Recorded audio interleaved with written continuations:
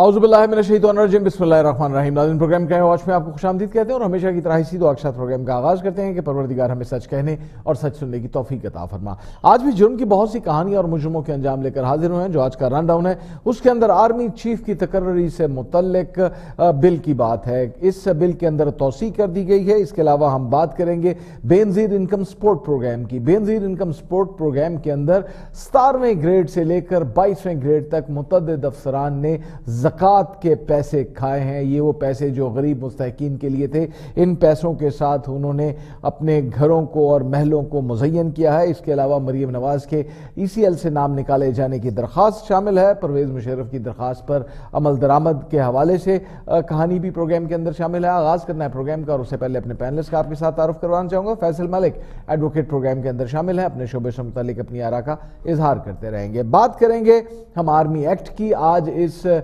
بل کے اندر توسیع کر دی گئی ہے اور ہمارے ساتھ ہمارے رپورٹر موجود ہیں، مزید تفصیلات ان سے جان لیتے ہیں۔ جی علی عثمان۔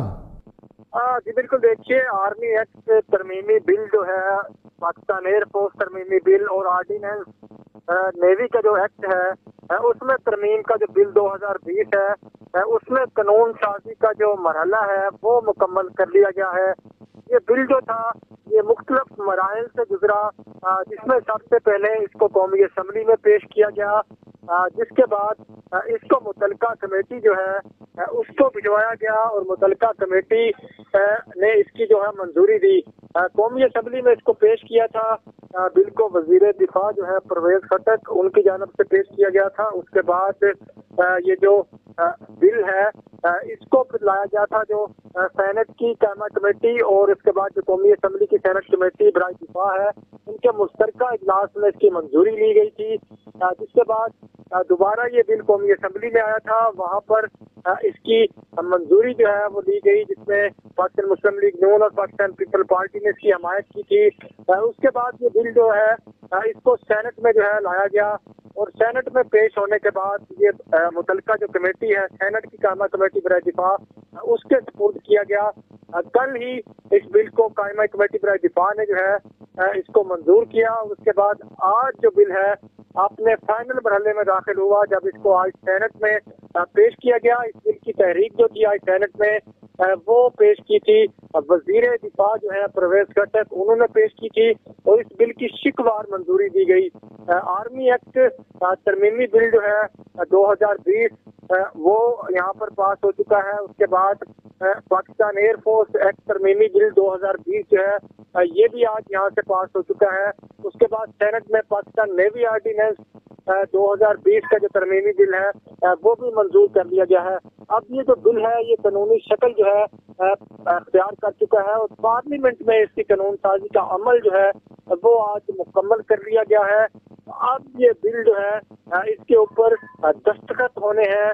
صدر مملکت جو ہے ڈاکٹر عارف الوی جی۔ وہ اس پر دستخط کریں گے تو یہ قانون کی اس بل کے مطابق علی عثمان عمر جو ہے وہ چونسٹھ سال کر دی گئی ہے۔ اور اگر وزیر اعظم یہ ایڈوائز کرتے ہیں تو صدر جو ہے وہ پابند ہوگا اس بات کا کہ وہ مدت ملازمت میں تین سال کی توسیع کر دے۔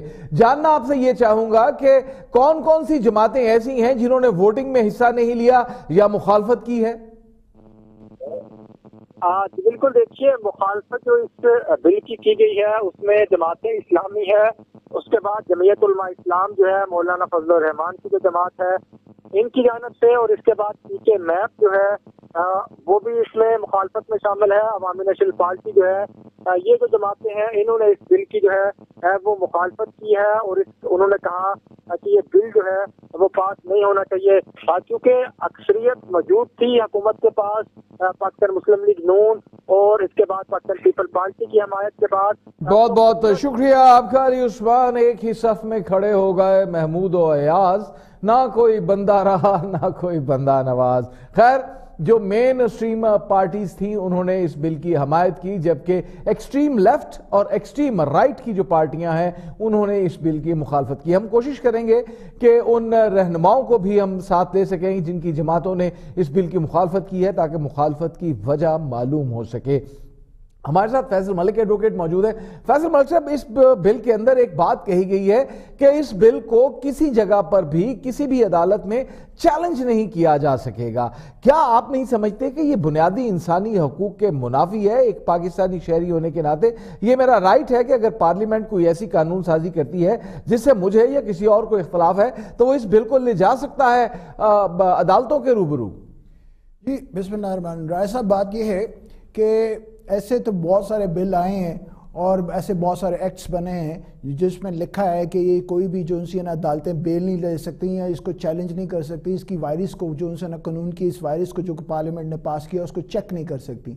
لیکن یہ اختیار عدالت کے پاس باقاعدہ میں ملک صاحب میں یہاں پہ آپ کو روکنا چاہوں گا۔ اس وقت جماعت اسلامی کے سینئر رہنما جناب فرید پراچا ہمارے ساتھ ٹیلی فون لائن کے اوپر موجود ہیں ان سے بات کر لیتے ہیں۔ پراچا صاحب ویلکم ٹو دا شو جی جی شکریہ۔ راجہ جی۔ صاحب آپ کی جماعت نے آرمی ایکٹ کے جو بل میں ترمیم کی گئی ہے اس کی مخالفت کی ہے وجوہات کیا ہیں؟ کیا سمجھتے ہیں کہ آپ یہ بل کیوں نہیں پاس ہونا چاہیے تھا؟ جی بسم اللہ الرحمن الرحیم میں ہم نے آئین کا ساتھ دیا ہے ملک کی سلامتی اور استحکام کا ساتھ دیا ہے۔ ہم نے پارلیمنٹ اور جمہوریت کا ساتھ دیا ہے۔ اور ہم اس پہ سمجھتے ہیں کہ یہی ایک راستہ تھا جو باقیوں کو بھی اپنانا چاہیے تھا۔ لیکن وہ جو کہتے ہیں کہ اس پرچم کے سائے تلے ہم ایک ہیں، ہم ایک ہیں، تو وہ ہم ہوئے، تم ہوئے، کہ میر ہوئے، سب اسی زلف کے اسیر ہوئے۔ کل تک جو کہیں خلائی مخلوق اور پتہ نہیں کیا کیا کہہ رہے تھے، اور اس کے بعد سلیکٹڈ اور مطلب ایک پورے ایک بیانیہ تھا نا، جو ایک طویل عرصہ چلتا رہا ہے۔ تو اب اچانک ایک بہت بڑا یو ٹرن ہوگا ان کے ہاں۔ ہم یہ سمجھتے ہیں کہ ایک تو امتیازی قانون ہے۔ اور امتیازی قانون آئین کے لحاظ سے بھی اصول انصاف کے لحاظ سے بھی وہ غلط ہوتا ہے۔ یعنی صاحب میں میں جی۔ اگر ایک لمحے کے لیے آپ کی یہ بات مان لوں کہ یہ امتیازی قانون ہے تو ہم اسے ثابت کیسے کریں گے کہ یہ امتیازی قانون ہے؟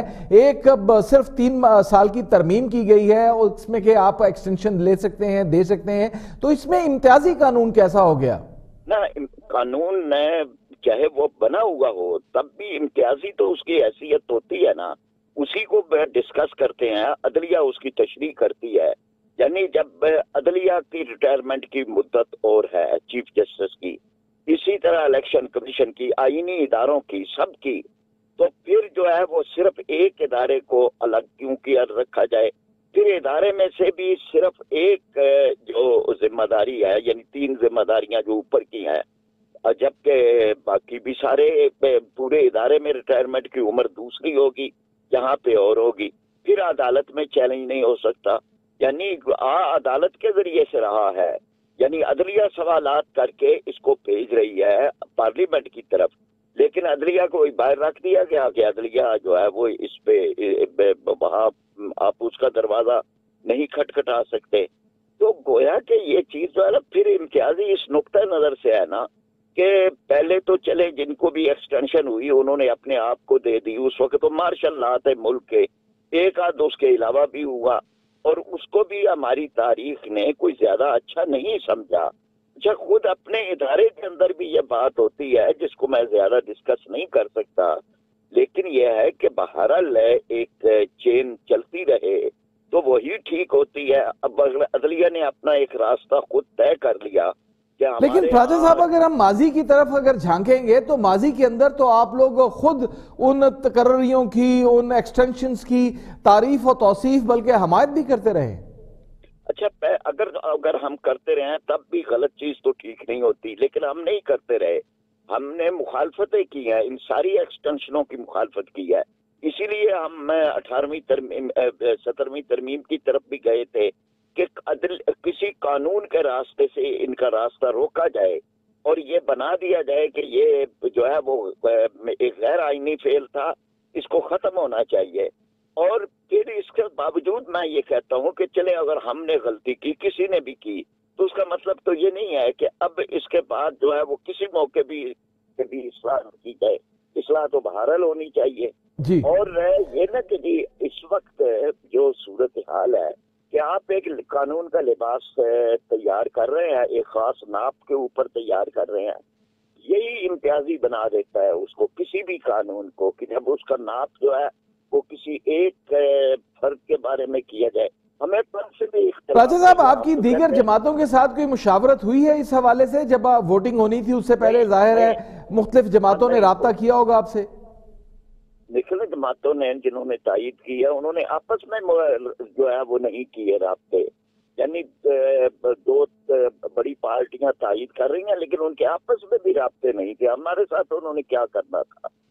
تو پراچا صاحب اب معاملہ یہ ہے کہ بل پاس ہو گیا ہے آپ نے اس کی مخالفت کی ہے ظاہر ہے اصولوں کی بنیاد کے اوپر آپ نے یہ مخالفت کی ہے تو کیا آپ اس معاملے کو پبلک کے اندر لے کر آئیں گے؟ آپ کا اگلا لاہ عمل کیا ہے؟ اگر آپ سمجھتے ہیں کہ یہ ترمیم درست نہیں ہوئی تو آپ پبلک کے اندر کوئی اویئرنیس کمپین سٹارٹ کرنے کا یا دیگر جو اتحادی ہیں جو اختلافی ہیں بلکہ ان کے ساتھ کوئی لائزون کا پروگرام دیکھیں نا، ہمیں ہمیں کوئی ادارے سے ٹکراؤ نہیں ہے، نہ کسی فرد سے ہے۔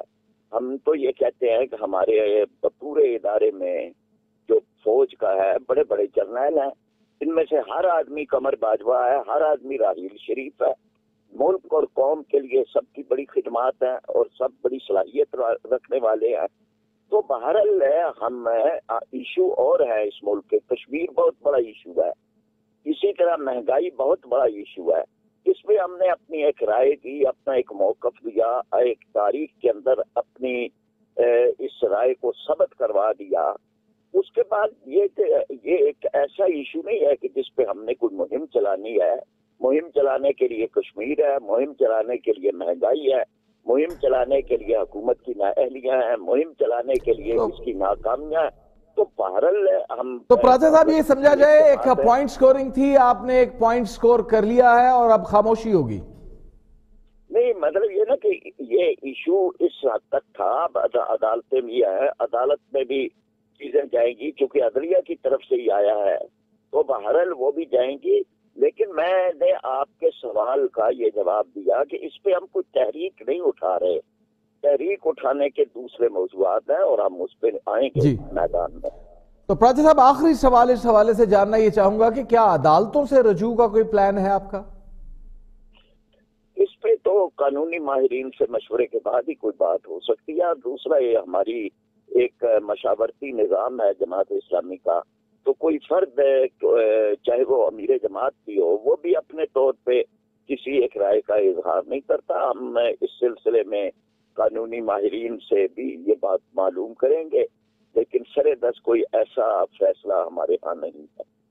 بہت بہت شکریہ فرید پراچا، جماعت اسلامی کے سینئر رہنما ہمارے ساتھ موجود تھے، انہوں نے اپنی جماعت کی پالیسی بیان کی۔ ان کا کہنا یہ تھا کہ ہم نے اصولوں کی بنیاد کے اوپر اختلاف کیا ہے اور اب کسی قسم کی کوئی تحریک چلانے کا ہمارا ارادہ نہیں ہے۔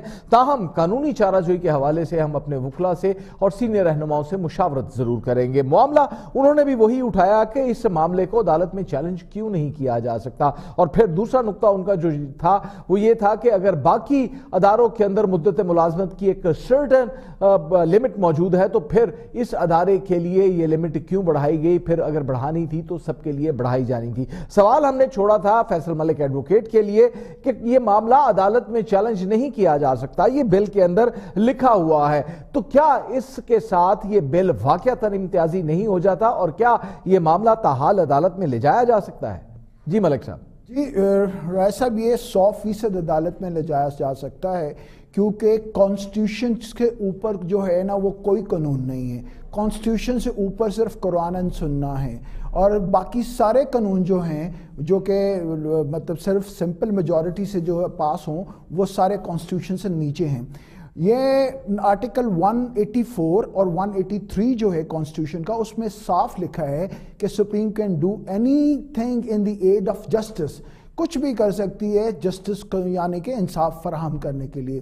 تو اگر اس بل میں لکھا ہے، یہ بل جو سے سمپل میجورٹی سے پیش ہوا ہے، تو یہ کسی صورت میں بھی جو ان سے نا عدالت کا اختیار کٹیل یا کم نہیں کر سکتا کہ جو عدالت اس کو سنے نہ اس کو چیک نہ کرے، اس کو اسکروٹنائز نہ کرے، اس کو دیکھے نہ کہ یہ جو ان سے نا واقعی انصاف کے تقاضوں کے عین مطابق ہے کہ نہیں۔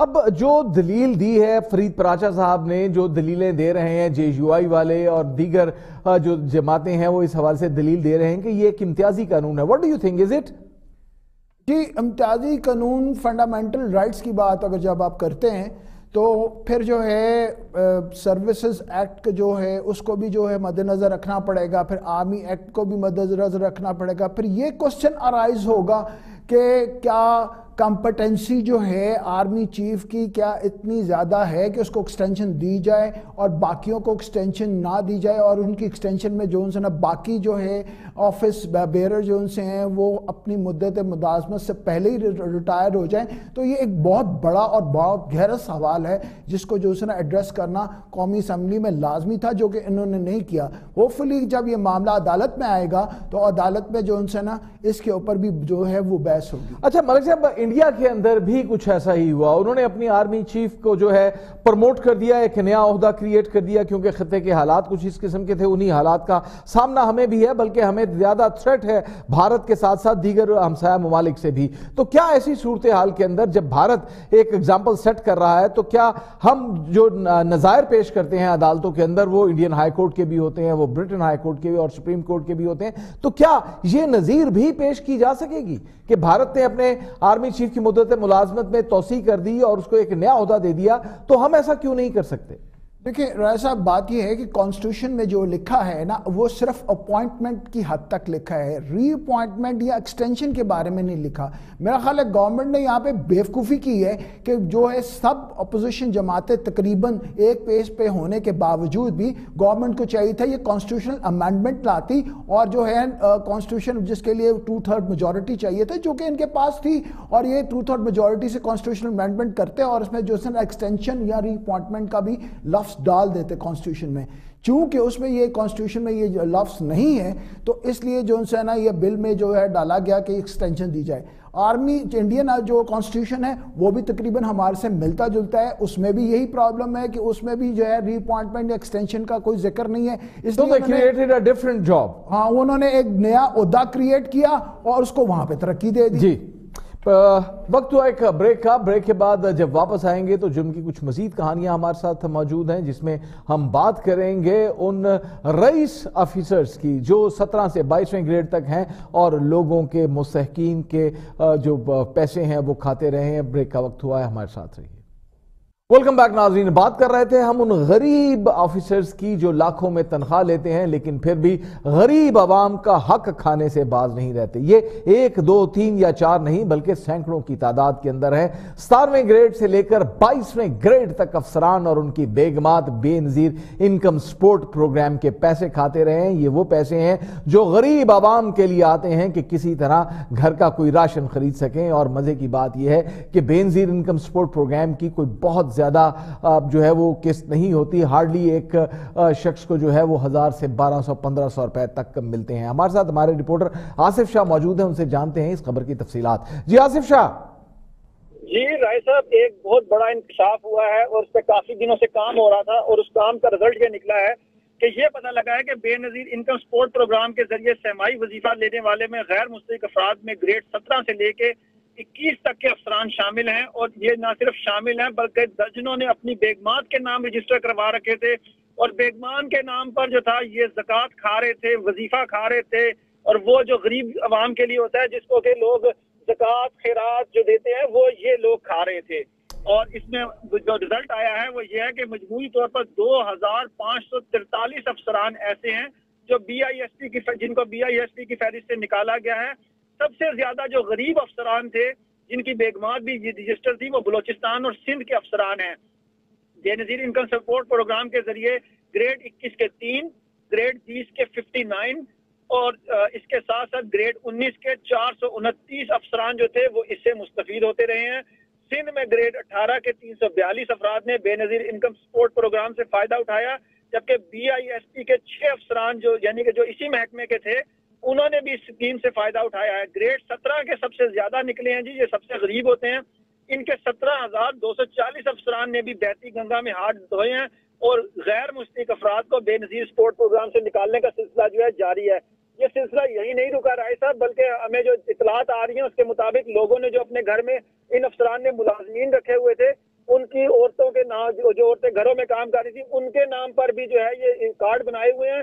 اور ان کو تنخواہ جو تھی وہ بی آئی ایس پی سے جا رہی تھی جبکہ وہ گھر میں ان کے کام کر رہی تھی۔ ہم پہلے یہ سنا کرتے تھے کہ مالی چوکی دار جو ہیں وہ افسران محکمے سے لیتے ہیں۔ اب گھریلو ملازمین کو بھی جو ہے وہ تنخواہ سرکار دے گی اور وہ ان کے گھروں میں رہیں گے۔ تو انتہائی شرمناک واقعہ جو ہے یہ سامنے آصف شاہ یہ سہماہی قسط ہوتی کتنی ہے؟ رائے صاحب یہ پہلے تھی ایک ہزار روپیہ۔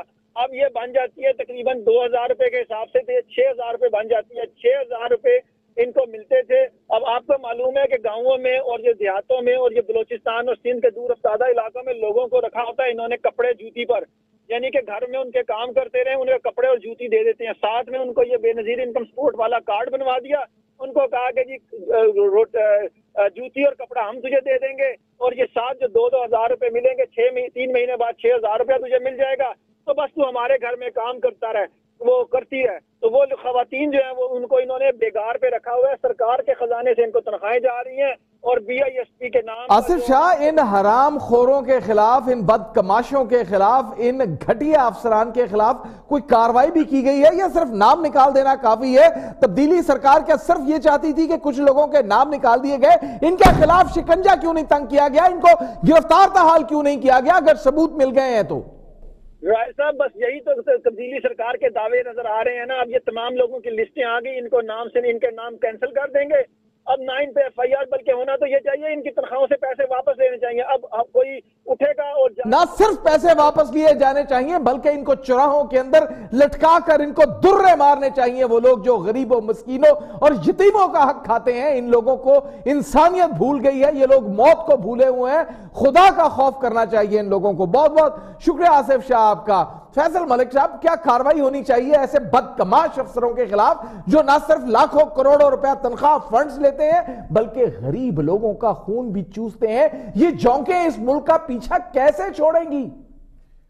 جناب، یہ جو ہے لوگ ہیں، یہ تو بالکل ہی اسلام سے آ رہی ہیں۔ یہ تو کوئی دہریے سے بھی بدترین قوم ہے اور یہ جو ہے، یہ لوگ ان کے اوپر باقاعدہ چار سو انیس، چار سو بیس، چار سو اٹھاٹھ اور چار سو اکہتر کا پرچہ بنتا ہے اور وہ درج ہوتا ہے اور جس کی سزا جو ان سی ہے، وہ دس سال تک ہو سکتی ہے۔ اور سرکار کو یہ چاہیے کہ ان لوگوں کے خلاف پرچے کروائیے تو اس سے گنونا جرم اور کوئی ہو نہیں سکتا کہ آپ زکوٰۃ جو ان نا وہ لوگوں سے جو ان چھین کے کھا جائیں۔ اور اگر ان کے خلاف پرچے درج نہیں کیے جاتے، تو کیا کوئی شخص، عام شخص، عام شہری اس حوالے سے عدالت کا جا سکتا ہے سامنے اور یہ لوکو سٹینڈ آئے، اس کا بنتا ہے؟ آبویسلی جی سو فیصد۔ یہ زکوٰۃ جو ان سی ہے یہ گورنمنٹ کے اپنے پیسے نہیں ہے یہ زکوٰۃ ہمارے ٹیکسوں سے جنریٹ ہوتی ہے اور یہ جو ان سے نا عوام کے پیسے ہیں۔ زکوٰۃ کے علاوہ یہ بینزین انکم سپورٹ پروگرام ہے جو ورلڈ بینک کے تعاون کے ساتھ چلتا ہے۔ ورلڈ بینک یہ پیسے بھجواتا ہے کہ غریب لوگوں کو کچھ کھانے پینے کے لیے مل جائے۔ حالانکہ ایک ہزار یا دو ہزار روپے میں آج اس ملک کے اندر آتا کیا ہے۔ جب یہ کہا جاتا ہے کہ آٹا مہنگا ہو گیا ہے تو خیبر پختونخوا سے یوسف صاحب یہ کہتے ہیں کہ آپ فائن آٹا نہ کھائیں، سرخ آٹا کھائیں، کیونکہ فائن آٹا کھانے سے بیماریاں ہو جاتی ہیں۔ آپ کے گھر میں یوسف علیہ صاحب کیا فائن آٹا کھایا جاتا ہے یا چوکر ملا ہوا آٹا کھایا جاتا ہے؟ خدا کا خوف کیجیے، آپ لوگ اقتدار کے اندر آنے کے بعد سب وعدے دار بھول جاتے ہیں۔ آپ لوگ کو صرف ایک حفظ یاد رہتی ہے کہ کس طرح اقتدار کے ساتھ ہمیں چپٹا رہنا ہے۔ ہمارے ساتھ اس وقت شفیق خان پسروری موجود ہے معروف عالم دین ہے اسلامی نظریاتی کونسل کے رکن ہے صحافی ہیں۔ ان سے جان لیتے ہیں کہ دین اس حوالے سے کیا کہتا ہے۔ شفیق پسروری صاحب بے نظیر انکم سپورٹ پروگرام میں ہزاروں کی تعداد کے اندر ایسے سرکاری افسران اور ان کی بیگمات شامل ہیں جو ستارہ سے بائیسویں گریڈ تک ہیں اور غریبوں کا مال، ان سے بوند بوند دودھ جو ہے وہ چھینتے رہے ہیں۔ دین اس حوالے سے کیا کہتا ہے ایسے لوگوں کو؟ سب سے پہلے تو رائے صاحب شکریہ، اور دوسرا اس لیے بھی شکریہ کہ آپ نے ایک نہایت حساس اور اہم موضوع پہ گفتگو کرنے کا موقع دیا۔ ہے دیکھیے، اسلام کے اندر جو ہے خیانت اور بددیانتی جو ہے، اس کو ایک کبھی جرم قرار دیا گیا ہے۔ رسول اکرم صلی اللہ علیہ وسلم نے ارشاد فرمایا، لا ایمانا لمن لا امانت لہو۔ اس شخص کا ایمان ہے ہی نہیں جو امانت کا خیال نہیں کرتا یعنی جو امانت میں خیانت کا مرتکب ہوتا ہے۔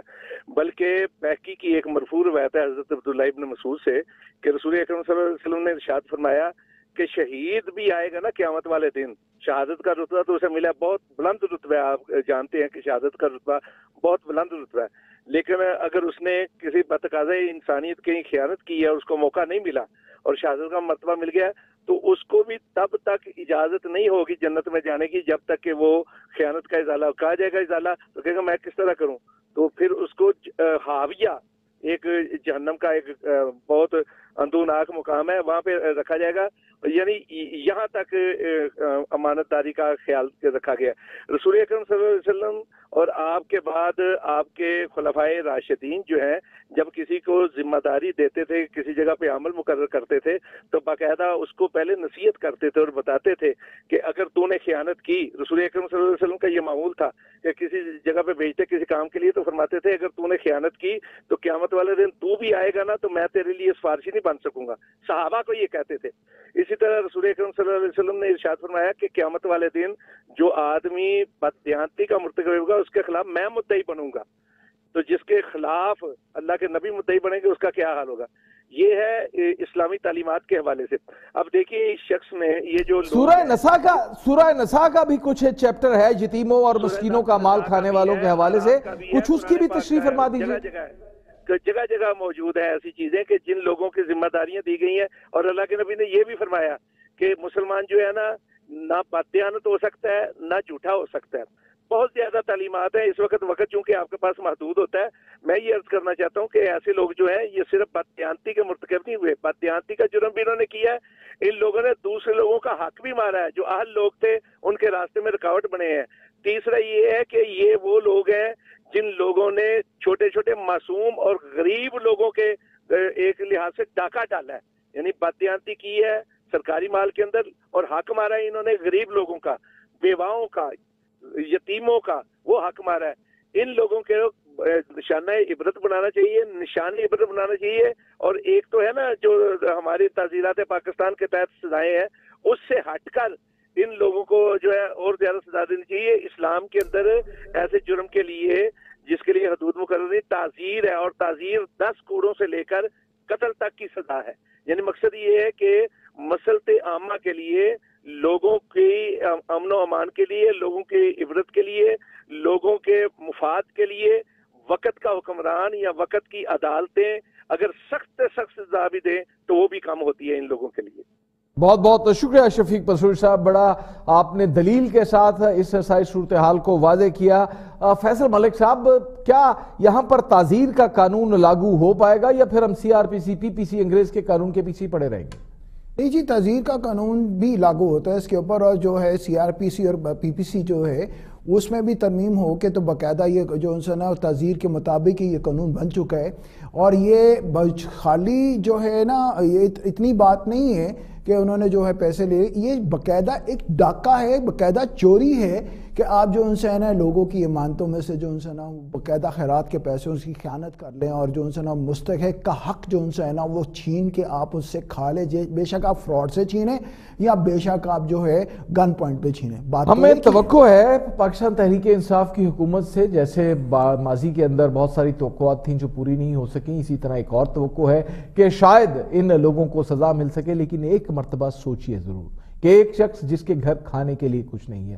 بچے بھوک سے بلک رہے ہیں بیزیر انکم سپورٹ پروگرام کے تحت وہ الیجیبل ہے، اس کو پیسے نہیں ملے۔ پھر تصور کیجیے، شدید سردی کے اندر ٹھٹرتا ہوا ایک بوڑھا شخص سڑک کے اوپر پڑا ہوا ہے، اس کے پاس پہننے کے لیے کوئی گرم کپڑا نہیں ہے۔ ذرا اندازہ کیجیے، اس خاتون کا جو آج پہاڑوں کے اندر سفر کر رہی ہوگی اور اس کے پاؤں کے اندر جوتا نہیں ہے، لیکن بے انکم سپورٹ کی وہ الیجیبل ہے۔ کیا ان لوگوں کا کھایا ہوا حق خدا معاف کر دے گا۔ اگر پاکستان تحریک انصاف کی حکومت اس حوالے سے خاموش رہتی ہے، کوئی بڑی کاروائی نہیں کرتی، تو یاد رکھیے، الٹیمیٹ عدالت ایک ضرور موجود ہے اور وہاں پر ان کو نہ صرف جواب دہ ہونا پڑے گا، بلکہ یہ سزا کے بھی مستحق ٹھہریں گے۔ یہاں وقت ہوا ایک بریک کا۔ بریک کے بعد جب واپس آئیں گے تو مریم نواز شریف کی بات کریں گے، جن کا نام ای سی ایل سے نکالنے کی درخواست پر تاریخ مقرر کی جاتی ہے۔ وقت ہوا ایک بریک کا۔ ہمارے ساتھ رہیں ویلکم بیک ناظرین مریم نواز شریف کا نام ای سی ایل سے نکالنا، پاسپورٹ واپس کرنا، کیا ممکن ہو سکے گا یا نہیں؟ ہمارے ساتھ ہمارے رپورٹر نعیم اختر موجود ہیں۔ کیونکہ مریم نواز شریف کی درخواست عدالت کے روبرو زیر سماعت ہے، جبکہ وفاقی کابینہ جس کا یہ پروگٹیو ہے، جس کا یہ اختیار ہے کہ نام ای سی ایل سے نکالے، انہوں نے تو انکار کر دیا ہے۔ جی نعیم اختر، آج کیا کاروائی رہی ہے عدالت کی؟ آر آئی کو ہائی کورٹ میں مریم نواز کا نام، پاسپورٹ اور واپس کرنے اور نام ای ایل سے، ای ایل سی سے نکالنے کی درخواست پر آج سماعت کے لیے مقرر کر دی گئی ہے۔ جسٹس طارق عباسی کی سربراہی میں دو رکنی بینچ پندرہ جنوری کو اس کیس کی سماعت کرے گا۔ مریم نواز نے اپنا پاسپورٹ واپس لینے اور نام ای سی ایل سے نکالنے کی صدا کر رکھی ہے۔ موسم سرما کی عدالتی تعطیلات کی وجہ سے بینچ کے رخصت پر ہونے کے باعث مریم نواز کی کیس کا کیس غیر مہینہ مدت تک کے لیے پہلے ملتوی کر دیا گیا تھا، جبکہ آج یہ مریم نواز کی یہ درخواست سماعت کے لیے مقرر کر دی گئی ہے۔ جی۔ بہت بہت شکریہ آپ کا۔ اس سے پہلے کہ میں فیضل ملک صاحب آپ سے سوال کروں، شواہد یہ بتا رہے ہیں کہ شاید مریم نواز شریف کا نام بھی ای سی ایل سے نکل جائے۔ جو شواہد ہے، جو گراؤنڈ ریالٹیز ہے، جو سرکمسٹانسز ہیں، وہ یہ بتا رہے ہیں کہ یہاں پر ریلیف مل جائے گا۔ کیونکہ مریم نواز شریف کے والد صاحب بیمار تھے، بیرون ملک گئے، تاحال واپس نہیں آئے۔ ان کے چچا والد کے ساتھ گئے، وہ تاحال واپس نہیں آئے۔ ان کے ایک کزن کی صاحبزادی بیمار ہے، وہ وہاں پر گئے، واپس نہیں آئے۔ لیکن کچھ لوگ ذر ضمانت کے طور کے اوپر، جیسے مریم نواز ہیں، حمزہ شہباز ہیں، ان کے ایک اور کزن ہیں، وہ جیلوں کے اندر ضرور موجود ہیں۔ مریم نواز کی تو خیر ضمانت ہو چکی ہے۔ فیضل ملک صاحب، کیا آپ کو اس کا نظر آتا ہے الٹیمیٹ نتیجہ؟ پروگٹیو وفاقی کیبنٹ کا ہے۔ وفاقی کیبنٹ کہتی ہے کہ مریم کو ہم جانے نہیں دے سکتے۔ اب عدالت اس حوالے سے کیا کرے گی؟ کیا وہ وفاقی کابینہ کے پروگٹیو ان کے اختیار کو استعمال کرے گی۔ رائے صاحب لا تو یہ ہے کہ یہ پروگیٹو صرف جو ان سے ہے، وہ گورنمنٹ کی ڈومین میں ہے۔ اس سے باہر جو ان سے نا عدالت کی ڈومین میں نہیں آتا۔ لیکن کیونکہ ہائی کورٹ اور سپریم کورٹ کے پاس جو ان سے نا کیونکہ اختیار یہ ہے کہ وہ کچھ بھی جو ہے نا کسی بھی معاملے کو باقاعدہ اسکروٹنائز کر سکتے ہیں، دیکھ سکتے ہیں کہ کیا اس میں جو ہے انصاف ہو، ہوا ہے یا بے انصافی ہوئی ہے۔ تو اگر اس گراؤنڈ کے اوپر جو ہے نا مریم نواز شریف جاتی ہیں اور جو وہ یہ کہتی ہیں کہ میں نے باہر جانا ہے ہیومینیٹیرین گراؤنڈ کے لیے لیتی ہیں، تو ایسی تو کوئی نظیر موجود نہیں ہے قانون میں، نہ کوئی گنجائش موجود ہے قانون میں۔ تو کیونکہ انسپیکٹڈلی جو ہے نا وہ لا کچھ ڈیولپ ہوا ایسا ہمارے ملک میں، تو اب ہم کچھ کہہ نہیں سکتے، سر۔ بہرحال، شواہد یہ بتا رہے ہیں، ایک مرتبہ پھر آن ریکارڈ میں کہہ رہا ہوں کہ اگر میں بچ گیا تو یقیناً جب یہ ضمانت ہوگی، آپ کو دوبارہ یہ ریپیٹ کر کے چلائیں گے کہ شواہد یہ بتاتے ہیں کہ مریم آپ کی بھی ضمانت ہو جائے گی نام ای سی ایل سے نکل جائے گا، آپ کا پاسپورٹ آپ کو واپس کر دیا جائے گا۔ یہ گراؤنڈ ریالٹیز ہیں۔ قانون اس حوالے سے کیا کہتا ہے وہ فیصل ملک؟ نے آپ کو بتا دیا، اگلی کہانی کی طرف آپ کو لیے چلے اگلی کہانی ہے سفید کوٹ اور کالے کوٹ کی لڑائی۔ اس لڑائی کے دوران حکومتی پوائنٹ آف ویو یہ رہا کہ چھ سے آٹھ افراد کی اموات ہوئی، وہ خالق حقیقی سے جا ملے۔ یہ الزام بھی لگایا گیا کہ وکلا نے جب پی آئی سی کے اوپر دھاوا بولا تو مریضوں کے چہروں سے آکسیجن ماسک اتارے گئے۔ حالانکہ اس بات کے اوپر یقین کرنے کو دل نہیں کرتا کہ کوئی بھی شخص اتنا صفاق نہیں ہو سکتا۔ لیکن حکومتی پوائنٹ آف ویو یہی ہے کہ اس دن دھاوے کی وجہ سے، اس دن حلے بولنے کی وجہ سے مریضوں کی اموات ہوئی ہیں اب صورتحال کیا ہے؟ کچھ اطلاعات یہ ہیں کہ شاید شاید صلح کی کوشش کی جا رہی ہے۔ ہمارے ساتھ ہمارے رپورٹر خورم ملک موجود ہیں، ان سے تفصیلات جان لیتے ہیں۔ جی خورم ملک۔ ہاں جی بالکل رائے صاحب، افسوس پی ایس سی کا جو انسیڈنٹ تھا، اس کا جو اب پیش رفت جو ہے وہ سامنے آئی ہے۔ ڈاکٹرز اور بکلا کے درمیان جو ہے وہ صلح نامہ تیار کر لیا گیا ہے۔ صلح میں یہی طے کیا گیا ہے کہ جو ڈاکٹرز اور وکیل اس کیس میں انسیڈنٹ میں شریک ہوں گے ان کے خلاف جو ہے وہ کاروائی کی جائے گی یقینی طور پر اس کو جو ہے یقینی بھی بنایا جائے گا، لیکن جو غیر متعلقہ لوگ اور غیر متعلقہ ڈاکٹرز ہوں یا وکیل ہوں، ان کے خلاف جو ہے کاروائی عمل میں نہیں لائی جائے گی۔ اس کے ساتھ ساتھ جو مقدمہ درج کیا گیا ہے، اس کو تحریر کو بھی جو ہے وہ چینج تبدیل کرنے کا فیصلہ بھی کیا گیا اس کبینہ اجلاس میں۔ اور آپ کو یہ بتائیں کہ پولیس کے ہائی آفیسر جو ہیں، اس موقع پہ موجود تھے جہاں پر وکیلوں کی سربراہت کر رہے تھے اور اس کے ساتھ ساتھ ڈاکٹرز کی سربراہی بھی کر رہے تھے۔ اس کے ساتھ ساتھ چار رکنی بینچ ہے وہ تیار کیا گیا تھا۔ جو یہ کافی عرصے سے جو ہے اسی طرح کی جو ہے بیٹھک کر رہے تھے اور وہاں پر فیصلے کیے جا رہے تھے۔ کل جو فیصلہ طے کیا گیا، یہ آخری فیصلہ، آخری مرائل جو ہے وہ طے کیا گیا ہے کہ صلح کروا لی گئی ہے کیونکہ پولیس کی جانب سے کل بھی جو ہے رائے صاحب گرامیٹری ٹیسٹ کروائے گئے تھے کچھ وکیلوں میں، جن میں وزیر اعظم عمران خان کے بھانجے بھی جو ہے وہ بھی شامل تھے۔ لیکن فرانسک کی رپورٹ جو تحال جو ہے ابھی تک نہیں آ سکی، اس کے باوجود جو ہے، اس سے پہلے جو ہے وہ صلح کروا لی گئی ہے۔ ڈاکٹرز اور وکیلوں کے درمیان جو ہے صلح نامہ پولیس اسٹیشن میں جو ہے وہ جمع کروا دیا گیا ہے۔ جی۔ لیکن خورم ملک، جیسے کہ آپ نے کہا کہ وہ وکلا صاحب صاحبان جو اس سارے واقعے کے اندر ملوث ہیں، ان کے خلاف کاروائی ڈیفنیٹلی ہوگی، باقی لوگوں کو ریلیز کر دیا جائے گا۔ سو یہ تو طے ہوگا فوٹوگرامیٹری ٹیسٹ کے ساتھ کہ کون کون وکیل شامل تھے۔ اور باقی لوگوں کے ساتھ اگر صلح ہوتی ہے یا ان کو ریلیز کیا جاتا ہے، تو اس کے اندر تو کوئی حرج ہونا نہیں چاہیے۔ ہاں جی بالکل میں نے پہلے بھی، بالکل آپ نے کہا میں نے پہلے بھی کہا ہے کہ رائے صاحب یقینی طور پر جو وکیل ملوث ہیں اس انسیڈنٹ میں، جو ڈاکٹر ملوث ہیں، ان کے خلاف جو ہے بلا امتیاز کاروائی جو ہے وہ سامنے لائی جائے گی اور کی جائے گی، ایسا فیصلہ بھی کیا گیا ہے دونوں پارٹیز کے درمیان پر۔ جو وکیل غیر متعلقہ ہے جن کو وہاں پر بے قصور اور بے قصور ڈاکٹرز بھی جو تھے، ملوث ہو رہے تھے باقاعدہ طور پر، ان کے خلاف جو کاروائی ختم کرنے کا بھی فیصلہ کر لیا گیا ہے۔ فوٹوگرافری جو ٹیسٹ کروایا گیا ہے فوٹوگرامیٹری اس کا تقریباً جو ذرائع بتاتے ہیں پندرہ جنوری تک جو ہے ریزلٹ فرانسک لیبارٹری سے جو ہے اس ٹیسٹ کی جو ہے وہ بھی آ جائے گی۔ اس کے بعد جو ہے وہ تعین کیا جائے گا، کتنے وکیل اس انسیڈنٹ میں جو ہے وہ شامل ہیں۔ آپ کو ریسم یہ بھی بتائیں کہ تقریباً بائیس کیمروں کی فوٹیج جو ہے پی آئی سی کی فرانسک کو جو ہے وہ پرووائڈ کی گئی ہے۔ اس کے ساتھ ساتھ سیف سیفٹی کیمروں کی مدد سے بھی جو ہے فوٹیج پرووائڈ کی گئی، جو فرانسک کے پاس اس سے موجود ہے۔ اور فوٹوگرامیٹری ٹیسٹ میں جو ہے وہ مدد ثابت ہو رہی ہے۔ اس کے ساتھ ساتھ تقریباً تینتیس وکیلوں کے پہلے ٹیسٹ کروائے گئے تھے۔ چھ کے کل جو ہے فوٹوگرامیٹری ٹیسٹ کروائے گئے تقریباً انتالیس وکیلوں کے جو ہے فوٹوگرامیٹری ٹیسٹ کروائے گئے جو اچھا خورم ملک وہ جو پولیس آفیشل تھے جن کی وجہ سے ڈاکٹرز یہاں تک پہنچنے کے اندر کامیاب ہوئے پولیس کی غفلت تھی ان کے خلاف بھی کچھ سنجیدہ کاروائی ہو رہی ہے یا وہ پھر ڈسٹ انڈر دا کارپیٹ بس معطل کر دیا سسپینڈ کر دیا وارننگ دے دی کافی ہے۔ رائے صاحب ان کے خلاف کوئی کاروائی جو ہے عمل میں نہیں لائی گئی تھی۔ پہلے روک تھی پہلے تو یہ پولیس ہائی اوفیشل کی جانب سے جو ہے سوئچ ایکشن لیا گیا تھا کہ جو وہاں پر موقع پہ موجود تھے، ان کی موجودگی میں سارا انسیڈنٹ افسوس تھا، جو واقعہ پیش آیا تھا۔ ان کے پولیس کے خلاف ابھی تک کوئی کاروائی جو ہے عمل میں نہیں لائی گئی، لیکن پولیس کی جانب سے ایک مقدمے میں مدعیت جو ہے وہ لازمی بنایا گیا تھا۔ پولیس کے ہائی آفیسرز کو، ڈی ایس پی کو مدعی بنایا گیا تھا جو پٹنہ وکیلوں کے خلاف کیا گیا تھا۔ لیکن پولیس کے ہائی آفیسر جو موقع پہ موجود تھے، ان کے خلاف کوئی کاروائی جو ہے ابھی تک عمل میں نہیں لائی بہت بہت شکریہ خورم ملک آپ کا پروفیسر ملک صاحب، کیا کہیں گے آپ؟ کیا آپ اس بات سے مطمئن ہیں؟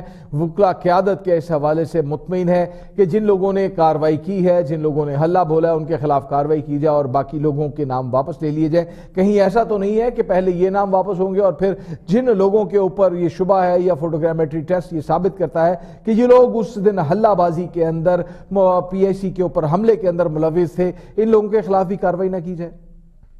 ایسا ویسی بات تو نہیں ہے پہلی بات تو میں یہ کہوں گا کہ جو لوگ اس حملے میں اس میں ملوث نہیں تھے تو پولیس نے ان کو پکڑا کیوں ہے؟ رائے صاحب اگر آپ دیکھیں تو یہ ایکسلریٹ کیا ہے پولیس نے یہ خیر یہ تو ایک دوسرا ایشو ہے نا جی یہ ایک ادر سبجیکٹ ہے اس کے اوپر بھی بات کر لیں گے کہ جن لوگوں کو غلط پکڑا گیا ہے ان پولیس والوں کے خلاف کیا کاروائی ہوگی یہ ایک الگ سبجیکٹ ہے۔ لیکن سردس یہ سبجیکٹ ہے کہ صلح ہو رہی ہے ان لوگوں کے ساتھ جو اس مقدمے کے اندر شامل نہیں یہ دوسرا چیپٹر ہے۔ دوسرا معاملہ یہ ہے کہ جو لوگ ملوث ہیں اس واقعے کے اندر ان کے خلاف کاروائی ہوتی ہے تو آپ لوگوں کا سٹانس کیا ہے؟ کیا آپ لوگ اس فیصلے کو تسلیم کریں گے اور اس کاروائی میں جن لوگوں کے خلاف کاروائی کی جاتی ہے ان کو آپ بیک اپ نہیں کریں گے؟ ڈیفینیٹلی جی۔ اگر جو بھی کوئی کلپریٹ سامنے آیا اور جس نے واقعی قانون کو اپنے ہاتھ میں لیا، تو اس کو، اس کے خلاف جو ہے، ہم بھی اسی طرح ہی سیسا پلائی دیوار کی طرح کھڑے رہیں گے کہ اس کو اس کو وہ کو کیفرے کرتار تک پہنچایا جائے۔ لیکن رائے صاحب، یہاں پہ یہ بھی تو ہے کہ اس پولیس پولیس والے ایس پی کے اوپر بھی جو ان سے نا ایف آئی آر دینی چاہیے، جس نے پی آئی سی ہاسپٹل کے اوپر آنسو گیس فائر کرنے کا آرڈر کیے۔ جس کی روز عدالتوں کے اندر ہوتے ہیں۔ جس کی سفوکیشن کے ساتھ جو ان وہاں پہ وہ ایک مریض مرا کیونکہ کورٹ میں آ کے ڈی آئی جی صاحب نے یہ کہا تھا کہ ایک مریض مرا ہے اور یہ ایویڈنس نہیں ملی کہ کسی نے کسی وکیل نے ماسک اتارا ہو۔ یہ بھی کوئی فوٹو تین مریضوں کی تو یادگار بنائی جا رہی ہے۔ اس میں سے ایک مریض اگر اس سفوکیشن سے مرا ہے تو آپ لوگ روز عدالتوں کے اندر جاتے ہیں۔ یہ معاملہ عدالتوں کے اندر لگا ہوا ہے۔ درخواست کیوں نہیں فائل کرتے؟ تقریریں کرنے کے ساتھ تو یہ معاملہ تھا۔ رائے صاحب آن ریکارڈ ریکارڈ ہے یہ ساری بات. یہ چیز آن دی ریکارڈ ہے مگر you must pray for that کہ آپ لوگ کو پری پرے کرنی یہ کہ اس کو بھی سزا دیں۔ میں رائے صاحب یہی تو آپ کو توجہ دلوانا چاہ رہا تھا کہ ابھی یہ جو سے نا ڈاکٹر کی جو دیکھیں کہ انہوں نے وہاں پہ وہ مونومنٹ کھڑا کر دیا جب تک ابھی تحقیق مکمل نہیں ہوئی اور انہوں نے وہاں پہ مونومنٹ کھڑا کر دیا مزیل اشتعال انگیزی کے لیے۔ تو اب کیا ہم یہ سمجھیں کہ آپ عدالت کے سامنے جائیں گے یا تقریری شکریری جھاڑتے رہیں گے؟ نہیں ڈیفینیٹلی جی ہماری قیادت جو ہے تو اتنے دن ہو گئے ابھی تک کیوں نہیں گئے بھائی؟ پروسیکیوشن جو سی ہے نا وہ عدالتوں میں جا رہی ہے باقاعدہ جو ہے نا اپنا ڈیفنس لانچ کرے گی اور ڈیفنس لانچ کر رہی ہے۔ تو پولیس کے خلاف ڈیفنس لانچ کرنا ایک الگ چیز ہے اور یہ استدا کرنا الگ چیز ہے کہ پولیس والے بھی کلپریٹ ہیں ان کی آنسو گیس کی شیلنگ کی وجہ سے ایک جان گئی ہے۔ تو یہ درخواست تو آپ کو فوری دائر کرنی چاہیے۔ میں بھی قانون کا طالب علم ہوں تھوڑا بہت قانون کو سمجھتا ہوں۔ سر اس کے ساتھ ایک اور بھی ہم ایڈ کر رہے ہیں کہ بختر بند پولیس جو ہے باقاعدہ گارڈز انہوں نے پہنے ہوئے ہیلمٹ پہنے ہوئے اور پولیس اندر موجود ہے تو ان کی موجودگی میں بکلا جو سے جو نہتے تھے وہ اندر کیسے چلے گئے؟ پولیس نے الاؤ کیسے کر دیا؟ پھر پولیس وہاں پہ کس کام کے لیے موجود تھی؟ تو انتظار کس بات کا ہے؟ یہی تو پوچھا جا رہا ہے کہ کافی دن گزر چکے ہیں، کافی ہفتے گزر چکے ہیں۔ آپ صرف زبانی باتیں کر رہے ہیں، نہ صرف آپ، بلکہ آپ کے وکیل رہنما بھی۔ کیوں نہیں اس کو پراپر انداز کے اندر پروسیکیوٹ کرتے؟ کہیں ڈرے ڈرے، سہمے سہمے ہیں کہ کہیں ڈاکٹر صاحبان مکر نہ جائیں، صلح کرنے سے۔ کوئی ڈاکٹروں سے ڈر ہے آپ کو؟ حکومت سے ڈر ہے؟ کس چیز کا خوف ہے؟ نہیں خوف تو ڈائر صاحب جو ان سے نا ہماری قیادت کو کوئی نہیں ہونا چاہیے وہ تو پی آئی سی پر حملے سے پتہ لگ گیا کہ آپ بے خوف لوگ ہیں۔ نہیں خوف جو ہے وہ کسی میں بھی جو آدمی وہ پولیس میں بھی نہیں جو آدمی موت کا خوف کھو بیٹھتا ہے اس طرح اسپتالوں پر حملے وہی کرتا ہے۔ وہ رائے صاحب جب جو ہے سیکریٹریٹ کے پاس بھی گئے جو سے آئی جی کی دفتر بھی گئے کہ جو سے جن پانچ وکیلوں کو مارا گیا جن کے باقاعدہ کھنے سجا دیا آپ نے خود اپنے پروگرام میں کہا تھا تو ان کو ان کے ایک کسی ایک ڈاکٹر کو گرفتار کر لو۔ کوئی بھی نہیں گرفتار کر رہے تھے پندرہ دن گزر گئے تھے یہ تو پولیس نے خود جو کیا عدالتیں آپ کی بات نہیں سنتی یا پھر خدا نہ خواستہ خاک میں بدہن عدالتیں باعث ہیں؟ نہیں سر عدالتیں باعث نہیں ہیں عدالتیں باعث جو ان سے نا باعث عدالتوں سے پہلے تو معاملہ گورنمنٹ کے پاس تھا۔ یہ تو معاملہ تھا جو ان سے نا ڈاکٹر یاسمین راشد جو کہ پروٹیکٹ کر رہی تھی ان ڈاکٹر ینگ ڈاکٹر ایسوسیشن کو اور ان کو ان کی پروٹیکشن کے لیے کھڑی تھی اور آئی جی کو باقاعدہ فورس کر رہی تھی اور باقاعدہ وزیر اعلیٰ کو فورس کر رہی تھی کہ ہم نے ڈاکٹرس نہیں جو گرفتار ہونے دینے۔ یہ اصل مسئلہ تھا سر۔ اس وجہ سے یہ معاملہ جہاں تو پھر عدالتیں بند تھی ان دنوں کے اندر کوئی تالے لگے ہوئے تھے؟ آپ عدالت کے اندر کیوں نہیں گئے؟ نہیں سر یہ مومنٹ موومنٹ مومنٹ بہت تیزی سے یہ جنریٹ ہوا معاملہ کیونکہ کانسٹیٹیوشن پٹیشن کرنے کے لیے بھی جو ان سے نا باقاعدہ حقائق کو جو سے نا کٹھا کرنا پڑتا ہے، اس کو مینج کرنا پڑتا ہے اور لانچ کرنا پڑتا ہے آنریبل کورٹ کے اندر۔ تو اس کے اوپر جو ان سے نا ابھی اس ایویڈنس کو جو ہے نا وہ باقاعدہ آن ریکارڈ لانے کے لیے ہی جو ان سے نا وکلا جو ہے اس تقدوں میں لگے ہوئے تھے کہ یہ گورنمنٹ کیوں نہیں گرفتار کری پولیس والے وکلا کی قیادت کو کہہ رہے تھے جی ہم کر رہے ہیں، کرتے ہیں کرتے ہیں کرتے ہیں، لیکن بالکل وہ لالی پاپ تھا اور کچھ نہیں انہوں نے کاروائی کی۔ اور پیچھے پریشر تھا یا ڈاکٹر یاشمین راشد کا لیکن وہ ان سین پریشر تھا۔ تو کیا ہم یہ سمجھیں کہ اگلے دو تین سال کے اندر آپ پٹیشن فائل ضرور کر دیں گے؟ نہیں سر ہم جلدی کریں گے ایسی بات تو نہیں ہے۔ اب تک کے جو حالات ہیں وہ تو یہ نہیں ہم جو ان سے ہے نا باقاعدہ ہماری جو ہے قیادت اعلیٰ قیادت اس بارے میں بھی سوچ رہی ہے کہ ہم باقاعدہ آنریبل کورٹ ہائی کورٹ میں پٹیشن لانچ کریں کہ اس معاملے کی جوڈیشل انکوائری ہونی چاہیے۔ چلیے آج آج کی تاریخ آپ یاد رکھیے گا۔ آپ کو دوبارہ بلائیں گے۔ کچھ دنوں کے بعد پھر دیکھیں گے کہ کتنے ہفتے کتنے مہینے کتنے سال گزر گئے۔ آپ کا یہ سٹیٹمنٹ بھی میرے سامنے رہے گا۔ انشاءاللہ یہ بھی ساتھ چلائیں گے اور پھر دیکھیں گے آپ کی قیادت واقعہ کوئی پٹیشن فائل کرتی ہے یا نہیں کرتی، یا پھر خالی بیان بازی ہی کافی ہے؟ وزیر اعظم پاکستان آئی جی پنجاب کی کارکردگی کے اوپر بہت زیادہ خوش نظر آتے ہیں اور خوش کیوں نہ نظر آئیں، ان کے بھانجے کے گھر ڈکیتی کرنے والے ملزمان تو پکڑے گئے ہیں۔ چاہے یہ معاملہ لین دین کا تھا یا واقعہ ڈکیتی تھی، یہ تو انویسٹیگیشن کے بعد ہی سمجھ آئے گی۔ لیکن وزیر اعظم بہت زیادہ خوش ہیں، جبکہ عوام کا یہ حال ہے کہ گزشتہ دو ہفتوں کے دوران درجنوں ڈکیتی کی وارداتیں صرف لاہور شہر کے اندر رپورٹ کی جا چکی ہیں اور پکڑے صرف وزیر اعظم کے بھانجے کے گھر مبینہ ڈکیتی کے ملزمان ہیں۔ پروگرام کا وقت ختم ہوا چاہتا ہے اپنے میزبان رائے حسین کو اجازت دیجیے اور اپنا بہت سا خیال رکھیے، کیونکہ آپ ہی تو ہیں پاکستان۔